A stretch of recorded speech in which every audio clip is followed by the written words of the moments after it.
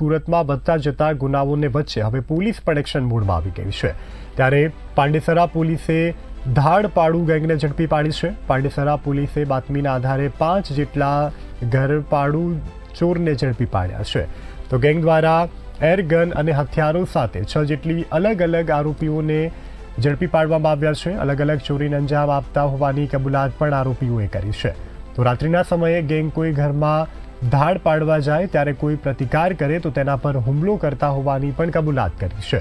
Surat police દ્વારા અસામાજિક તત્વો સામે લાલાક કરાઈ છે તો ગુનામાં સંડોવાયેલા ગુનેગારોમાં પણ ફફડાટ જોવા મળી રહ્યો છે. સુરત શહેરમાં પાંડેસરી, પાંડેસરા, ડિંડોલી અને કડોદરા વિસ્તારમાં એક મધ્યપ્રદેશની ગેંગ ચોરી, લૂંટધાડ જે પ્રકારના ગુનાઓ માં સંડોવાયેલ હતી. ખાસ કરીને આમાં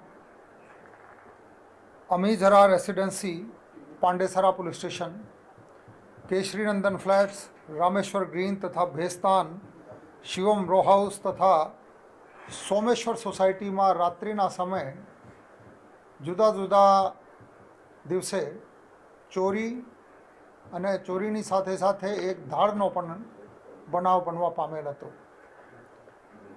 આ ગુનામાં સંડોયેલ ઈસમો મુદ્દામાલ સાથે સિદ્ધાર્થનગર તરફ જતા હોવાની બાતમી પોલીસને મળેલ. જેના આધારે પોલીસે કેટલાક ગુનેગારોની ધરપકડ કરી છે. કુલ પાંચ તોમતદારોની ધરપકડ કરવામાં આવી છે, જે જિલ્લા ધાર મધ્યપ્રદેશના રહેવાસી છે. અને બે લાખ પંચાણું હજારના મુદ્દામાલ સાથે પોલીસની ટીમે અટક કર્યા છે.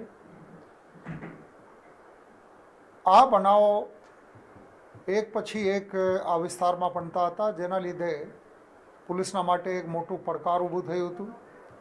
અને આ ગેંગને પકડ્યા પછી, આ ગેંગના બીજા જે લોકો છે, આ લોકોને વોન્ટેડ બતાવવામાં આવ્યા છે.